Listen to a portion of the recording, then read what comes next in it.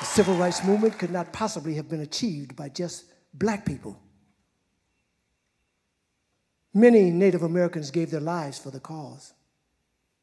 Many white Americans gave their lives for the cause. Many Hispanic Americans gave their lives for the cause. Many Asian Americans gave their lives for the cause. Americans gave their lives for the cause. Dr. Martin Luther King gave his life. The Declaration of Independence reads We hold these truths to be self evident that all men are created equal. They are endowed by their Creator with certain inalienable rights. Among these are life, liberty, and the pursuit of happiness. All men are created equal. These words gave us power. They gave us a legal weapon.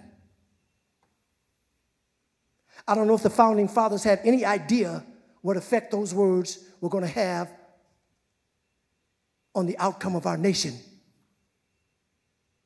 Many of them were slaveholders themselves.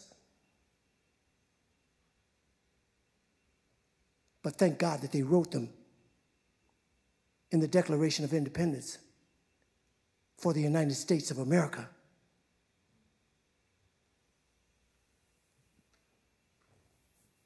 I love being black.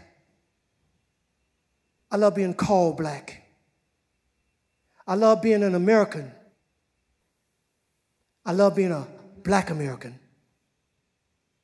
But as a black man in this country, I think it's a shame that every few years we get a change of name.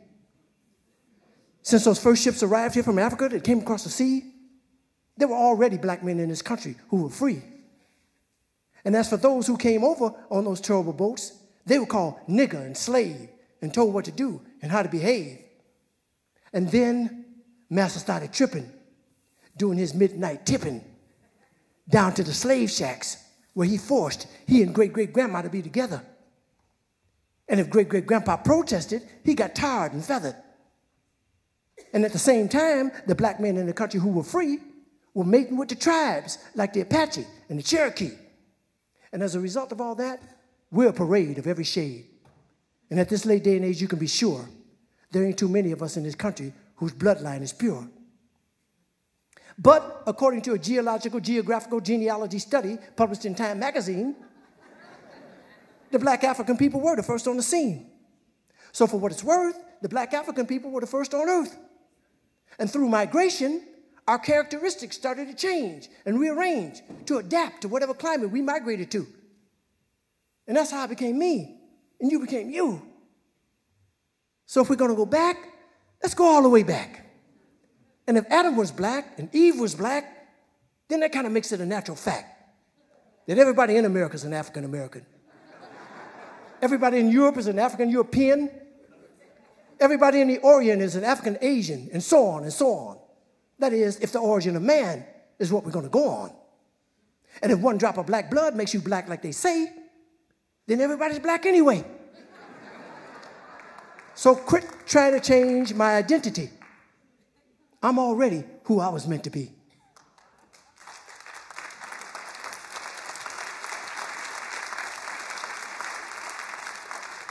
I'm a black American, born and raised. And Brother James Brown wrote a wonderful phrase Say it loud, I'm black and I'm proud. Say it loud, I'm black and I'm proud. Because I'm proud to be black. And I ain't never lived in Africa. And because my great great granddaddy on my daddy's side did, don't mean I want to go back. now, I have nothing against Africa. It's where some of the most beautiful places and people in the world are found. But I've been blessed to go a lot of places in this world. If you ask me where I choose to live, I pick America, hands down. Now, by and by, we were called Negroes. And after a while, that name was banished. Anyway, Negro is just how you say black in Spanish. Then we were called colored.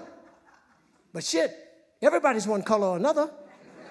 And I think it's a shame that we hold that against each other. And it seems like we reverted back to a time when being called black was an insult. Even if it was another black man who said it, a fight would result Because we've been so brainwashed that black was wrong. Till even the yellow niggas and the black niggas couldn't get along. But then came the 1960s when we struggled and died to be called equal and black. And we walked with pride with our heads held high and our shoulders pushed back. And black was beautiful. But I guess that wasn't good enough. Because now, here they come with some other stuff. Who comes up with this shit anyway? Was it one or a group of niggas just sitting around one day? Feeling a little insecure again about being called black. And decided that African American sounded a little more exotic. Well, I think you were being a little more neurotic. It's that same mentality that got Amos and Andy put off the air because they were embarrassed about the way the characters spoke. And as a result of that action, a lot of wonderful black actors ended up broke. When we were just laughing and having fun about ourselves. So I say, fuck you if you can't take a joke. You didn't see the Beverly Hillbillies being protested by white folk.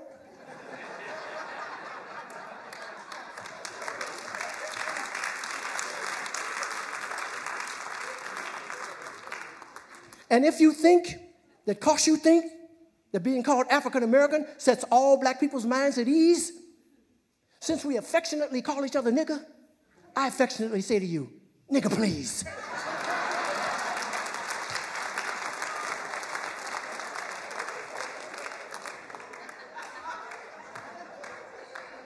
How come I didn't get a chance to vote on who I'd like to be? Who gave you the right to make that decision for me? I ain't under your rule or in your dominion, and I'm entitled to my own opinion. Now, there are some African Americans here, but they recently moved here from places like Kenya, Ethiopia, Zambia, Zimbabwe, and Zaire. But not a brother whose family's lived in this country for generations, occupying space in all the locations New York, Miami, LA, Detroit, Chicago. Even if he's wearing a dashiki and sporting an afro. And if you go to Africa in search of your race, you'll find out quick you're not an African American. You're just a black American in Africa taking up space.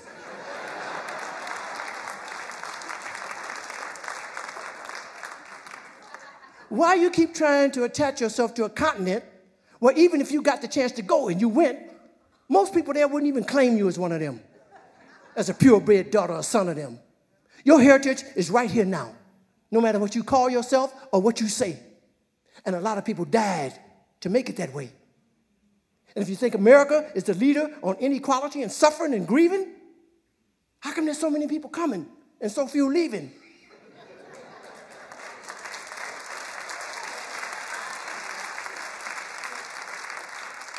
Rather than all this fine thought what America shit you're promoting, if you want to change something, use your privilege. Get to the polls. Come to voting.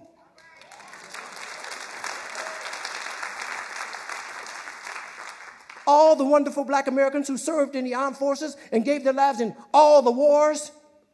They didn't do that for Timbuktu or Cape Town or Kenya. They died for Mississippi and Alabama and Georgia and Louisiana, Texas and Virginia. Need I continue? And if you don't acknowledge that, if you don't claim that, then you're playing right into the hand of the white supremacists and the Ku Klux Klan who claim that they own this land. We went through the civil rights movement. Dr. Martin Luther King gave his life so that you could have equal status. We withstood the dogs, the fire hoses, the beatings, the bombings, the burnings, the maimings, the murders, and everything else they threw at us. God knows we've earned the right to be called American Americans.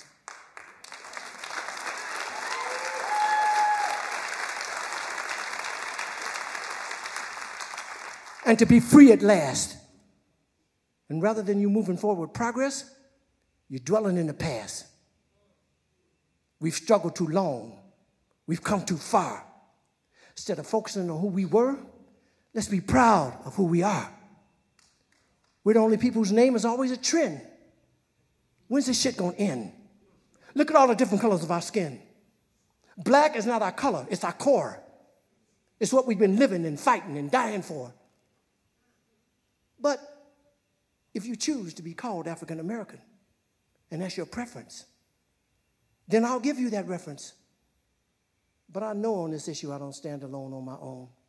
And if I do, then let me be me. And I'd appreciate it if when you see me, you'd say, There goes a man who says it loud. I'm black. I'm black. I'm a black American. And I'm proud. Because I love being an American.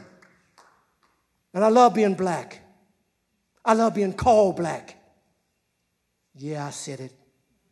And I don't take it back.